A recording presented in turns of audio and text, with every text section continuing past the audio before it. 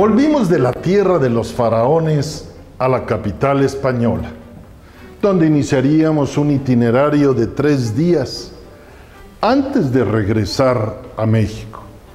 En aquel 1995 llegamos al entonces aeropuerto Madrid-Barajas. Desde el 2014 aeropuerto Adolfo Suárez Madrid-Barajas. Octavio, Laura, Dolores y yo rentamos un auto para encaminarnos al norte de España. En ese momento se sentó al volante el compadre con su característico, hasta la fecha, gusto, pericia y control para conducir a alta velocidad. Y bien, Laura, acostumbrada a simular frenar dirigiéndonos por la autopista a Burgos, capital de la comunidad autónoma de Castilla y León.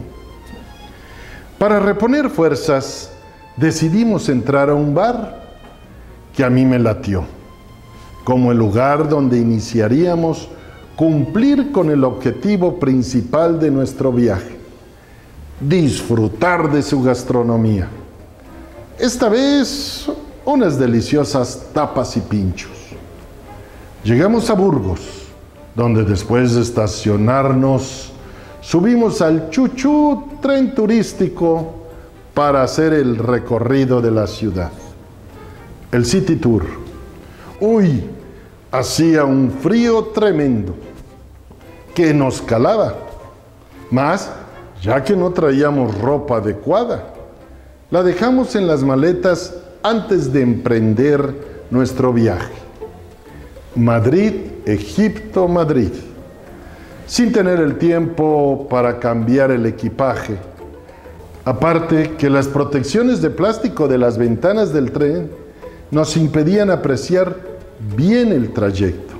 Así que, terminando, nos metimos a la Santa Iglesia Catedral Basílica Metropolitana de Santa María, declarada Monumento Nacional y Patrimonio de la Humanidad por la UNESCO. Nos tocó, además de la celebración de una misa, al que por ser casi de noche, estuviera encendido el calentador que salía a través de unas rejillas colocadas en el suelo de la enorme construcción. No faltó quien dijera, de aquí somos, y no querer abandonar el templo hasta que nos avisaron que era hora de cerrar. Para nuestro beneplácito encontramos un asador muy cerca de ahí y ponernos las botas con los exquisitos platillos, la típica morcilla de Burgos, que cuenta con denominación de origen y el hechazo de Castilla y León también, IGP, Indicación Geográfica Protegida, acompañados con un tradicional vino de la región, rematando con un sabroso postre de la casa. Nos subimos completamente oscuro al auto con dirección a tierras vascas por autovía en medio de imponentes montañas nevadas. Todo era admirar aquel nocturno paisaje invernal. Sin temor al frío, ya que el auto contaba con adecuada calefacción. Cuando me llamó la atención un parador a orilla de la carretera, propuse pernoctar allí y no hubo quien se negara. Era un hotel pequeño, con madera por doquier, muy cómodo y a descansar. Nos levantamos temprano, alistamos las maletas mientras pagábamos.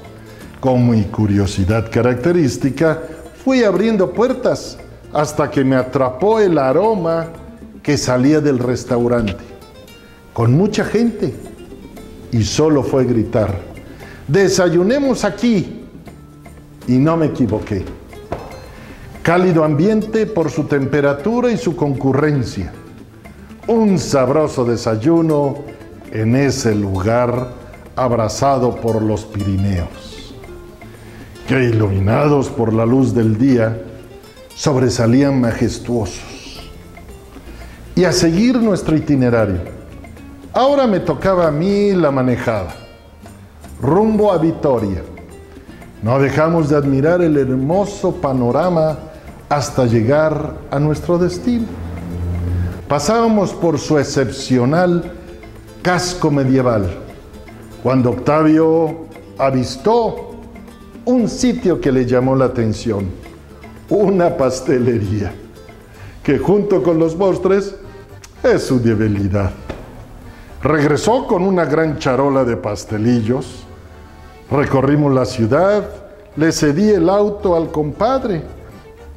Cada que le pedía la comadre, le pasaba uno a uno los bizcochos hasta que casi se los acabó. Bajamos por Álava a través de caminos sinuosos, con viñedos de lado y lado. Transitamos una zona boscosa de coníferas y ríos por la región de Logroño. Cuando me atrajo, y esta narración, aunque ya la he contado, siempre encuentro novedades que añadir. Un mesón, en pleno bosque, con varios autos acomodados en el estacionamiento. Era una cabaña muy grande, toda de madera, apreciándose desde afuera el humo que salía de sus chimeneas. Luego me enteré que una pertenecía a la cocina y la otra al comedor, lo platicamos y nos metimos derecho al bar. Pregunté, ¿dónde podríamos comer? Queremos disfrutarlo. Traemos hambre y antojo. Contestaron. Llegaron al lugar indicado. Vengan para acá, añadió. Entonces entramos por una puerta anexa al comedor, donde no había ningún comensal. Nos condujo a la cocina en la que estaban su esposa y familiares. Acomedidas, simpáticas, trabajadoras, mujeres, como sacadas de un antiguo libro del buen comer. Regordetas, ropa cómoda, limpios mandiles, el cabello recogido y de chapeadas mejillas. Preguntamos por el menú. Miren, miren, tenemos A, B, C, etcétera, etcétera. Todo elaborado y preparado aquí. Quesos, chorizos, jamones, jabalí y carne de la zona, agregó. Una vez los cuatro sentados pregunté, ¿dónde están los dueños de todos los autos estacionados afuera? Con mi hijo cazando jabalís arriba en el bosque. No tardan en bajar a comer. Octavio se asomó para confirmar qué iba a comer. Del bar traían el vino. Qué exquisita comida.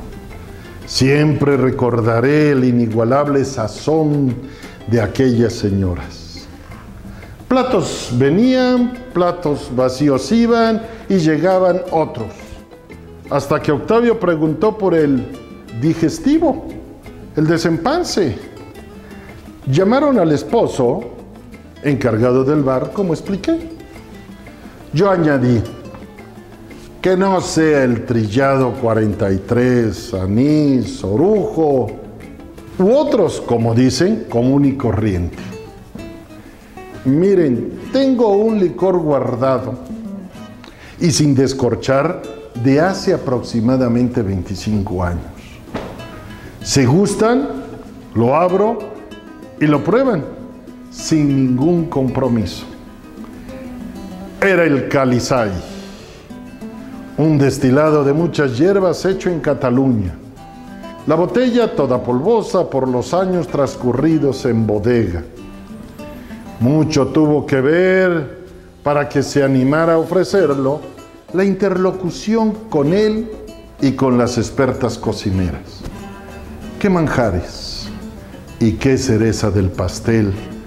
Aquellos platillos y aquella bebida. Recuerdo que, pese a todo lo que comimos y bebimos, no salió costosa la cuenta. Subimos al auto más que satisfechos con aquella opípara comida e inolvidable estancia y convivencia. Seguimos bajando carreteras sinuosas hasta incorporarnos a la autopista de regreso a Madrid. Domingo en la tarde, la hora pico del tráfico en carretera y ciudad. Luego de recoger las maletas, nos hospedamos en un hotel de la Gran Vía para reorganizar equipaje, divisas y regresar a México al otro día. Pero en mi mente, después de casi 25 años, sigue el sabor de Calizay, que hasta ahora no he hallado en México. Algunas veces que hemos tenido la fortuna de juntarnos los cuatro, Laura, Octavio, Dolores y yo, lo hemos degustado y recordado aquel bonito viaje. No sé si es tan especial o es la añoranza de aquel viaje en el que gasté zapatos por el País Vasco. No se puede cocinar bien si no se pone en ello el corazón dado que por encima de todo se trata de que reine en torno a la mesa sentimientos de amistad y de fraternidad. Fernand Point, chef francés.